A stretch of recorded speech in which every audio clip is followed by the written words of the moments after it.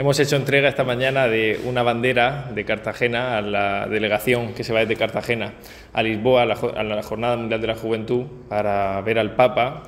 Eh, se va a celebrar la semana que viene y queremos eh, que ellos sean nuestros mejores embajadores y que por supuesto lleven el nombre de Cartagena a lo más alto y que tengan presentes en todas sus oraciones a los cartageneros y a la ciudad.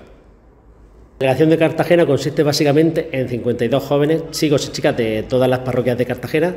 que de los cuales ya un grupo de aproximadamente 40 ya partieron el martes pasado para Lisboa y se encuentran allí participando en lo que se conoce en los días en la diócesis. Ya quedamos un pequeño resto que por temas de fechas de vacaciones y demás tendremos que irnos el próximo domingo ya para participar en lo que sí son los actos centrales de la jornada de la jornada mundial de la juventud que comenzará justamente el mismo día, al mismo llegar nosotros, porque creo que es bajarnos del autobús y no un encuentro de españoles que hay.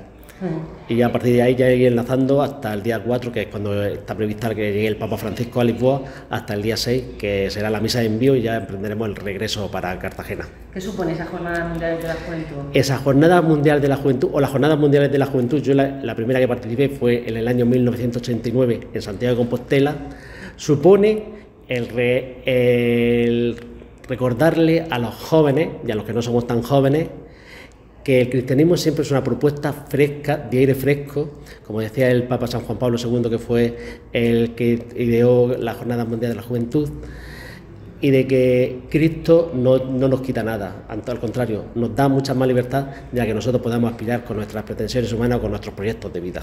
La primera vez, primero ni lo pensé, o sea, surgió y dije que quería ir. No pensé nada más, empecé a ahorrar desde noviembre y supe que quería ir, voy a ir con mi familia y mis amigos y la verdad que es súper bonito ir a un encuentro en el que todos nos vamos a encontrar con el Papa y que todos vamos por un mismo motivo que es Dios, a compartir la alegría y eh, compartir la fe en comunidad que es lo más importante.